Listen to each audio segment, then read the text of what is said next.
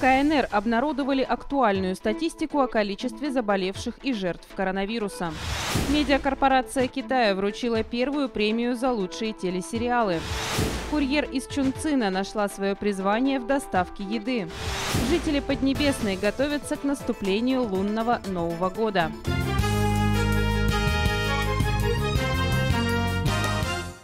В Китае с 8 декабря по 13 января зарегистрировали около 60 тысяч смертей, связанных с COVID-19. Об этом сообщила Цзяо Яхуэй, глава отдела медицинского управления Госкомитета по делам здравоохранения КНР. Она отметила, что 54 500 человек умерли от основных заболеваний, осложненных инфекцией COVID-19, а 5500 человек от дыхательной недостаточности. Средний возраст умерших составляет около 80 лет, что подтверждает уязвимость этой категории жителей страны.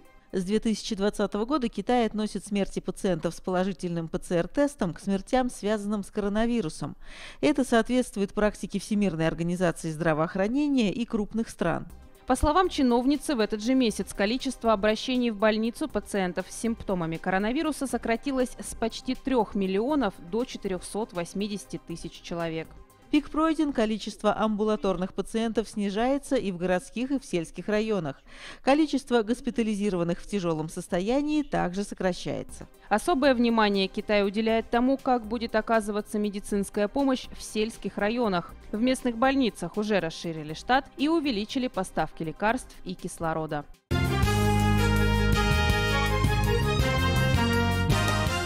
Медиакорпорация Китая провела первую ежегодную церемонию вручения наград за достижения в создании сериалов. Победителей выбирали на основании телерейтингов и отзывов аудитории в нескольких номинациях, в том числе лучший сериал 2022 года и самый популярный китайский сериал 2022 года «За рубежом». Также назвали лучшего сценариста, режиссера, актера и актрису года. Награждение провел генеральный директор медиакорпорации Китая Шэнь Хайсюн. На церемонии медиакорпорация Китая выступила с инициативой создать альянс по производству и трансляции высококачественных китайских телесериалов. Это объединение будет устанавливать творческие ориентиры и стандарты повышения качества в индустрии производства многосерийных фильмов.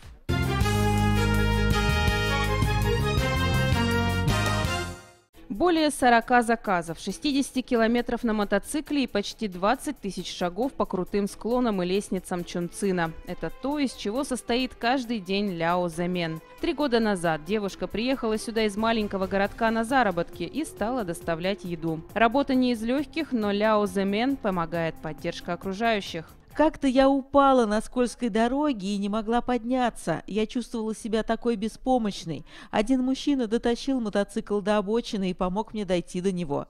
А однажды я сильно опоздала, и мне было очень стыдно. Но клиенты все равно благодарили меня. Девушка и сама всегда готова прийти на помощь. Прошлым летом Ляо Земен доставляла в горы средства для тушения лесного пожара, а во время ноябрьского карантина с утра до ночи привозила жителям Чунцина овощи, лекарства и другие необходимые товары.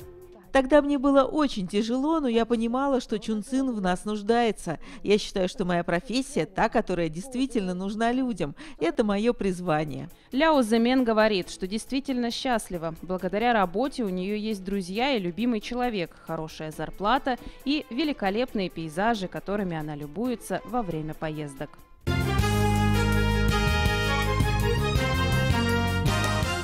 Жители Поднебесной готовятся к наступающему лунному Новому году, покупают подарки, участвуют в красочных мероприятиях и наслаждаются праздничными лакомствами. В закусочных города Ланчжоу, провинции Ганьсу, дегустируют такие блюда, как горячий грушевый суп, пряные копытца ягненка и баранина. А в городской округ Худжоу, провинции Джэцзян, туристы съезжаются, чтобы отведать фрикадельки с клейким рисом и бисквитные пирожные.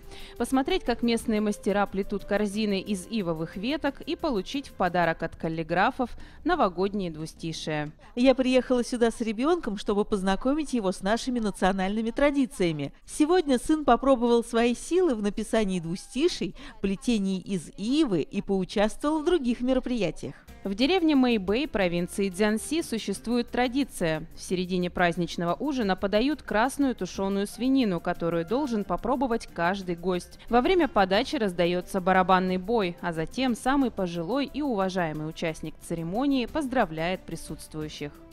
Тушеная свинина означает, что наша жизнь будет процветающей, а рыба, курица и фрикадельки символизируют то, что с каждым годом у нас будет все больше возможностей насладиться ими. В поселке Цзючи в провинции Сычуань самым популярным новогодним блюдом считается жареная соленая утка. Многие специально приходят на рынок, чтобы купить этот деликатес в подарок своим родственникам и друзьям.